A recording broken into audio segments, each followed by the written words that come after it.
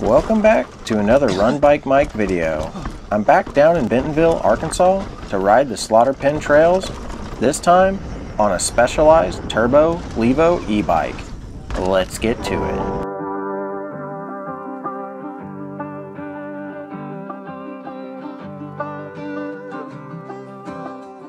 This Turbo Levo was rented from Gearhead Outfitters. This store was really nice. They had all things specialized and the staff was really helpful and knowledgeable. They had things from the Turbo Levo to the Turbo Levo SL. Super nice bikes, all in S-Works editions.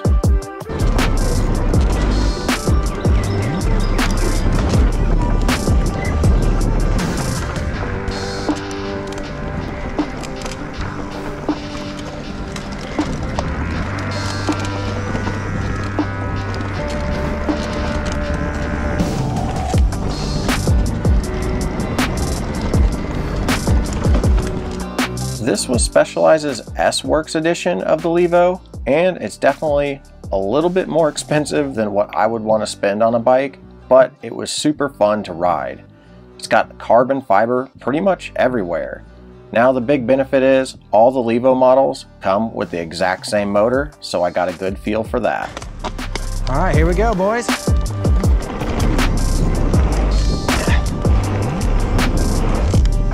Oh, these things are made perfect.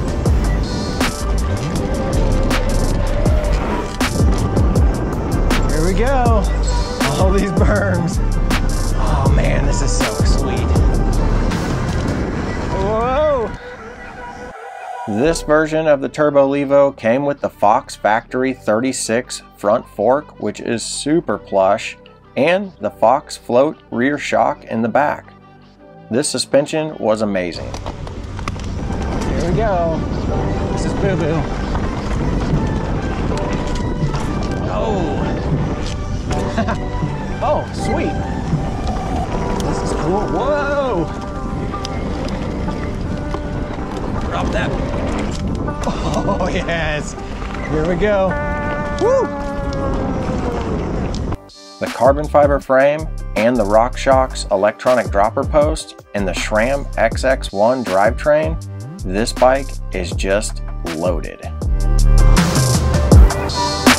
This catwalk is so cool.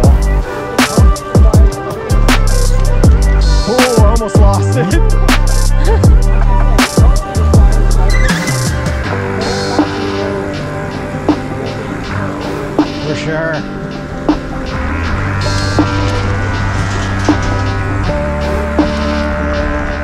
The controls on this were really nice. A simple plus and minus button lets you change through each power setting on the motor.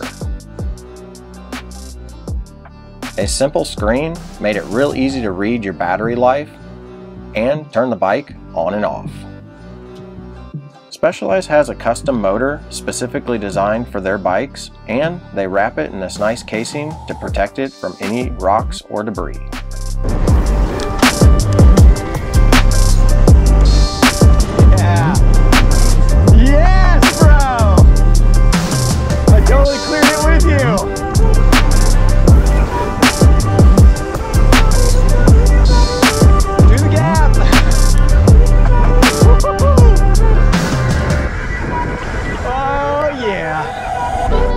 SRAM brakes on this bike didn't seem to have any problem stopping this bike no matter how steep the terrain.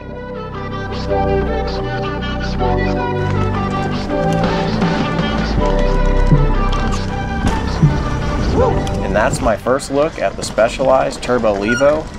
Now I know this particular model, being an S-Works, is going to be a little bit more high-end than what I will purchase, or what most of you will. But it sure was awesome to get out and ride an S-Works Specialized for the first time.